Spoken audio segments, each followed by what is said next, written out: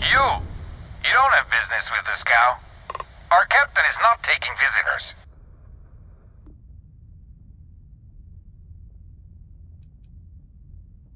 Hey, you tell Petrov his old buddy Barrett is here to see him.